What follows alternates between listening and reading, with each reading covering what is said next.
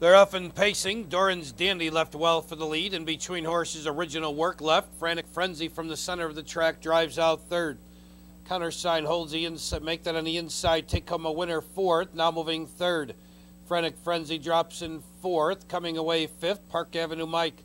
Countersign six, trailing the field is Clear Creek Rorty. Seven pacers for the 10th move on to the back stretch, and your leader by two, Original Work. Racing second, Doran's Dandy. The opening quarter, 29 and 1. It's Original Work, the leader. Doran's Dandy racing second, take home a winner third. In fourth position, Frantic Frenzy driving out of fifth. There goes Park Avenue Mike, and he flushes out. Frantic Frenzy. Towards the inside, countersign six, trailing the field, Clear Creek Rorty. They race to the half mile pole. It's original work, the leader.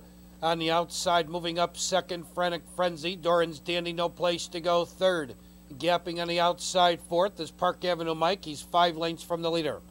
Half and 58 and two, and they move around the turn.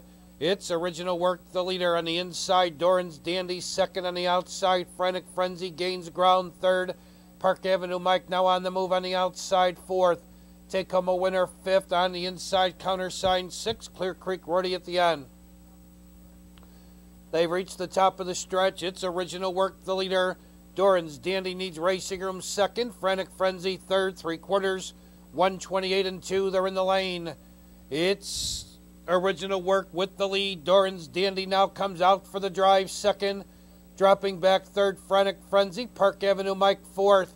Final eighth of a mile, original work holding firm. Doran's Dandy trying to come on second. Frantic Frenzy third. Park Avenue Mike and Clear Creek Rorty. Original work starts to pull away as they come to the wire. Original work wins it by three. Doran's Dandy second. Frantic Frenzy was third.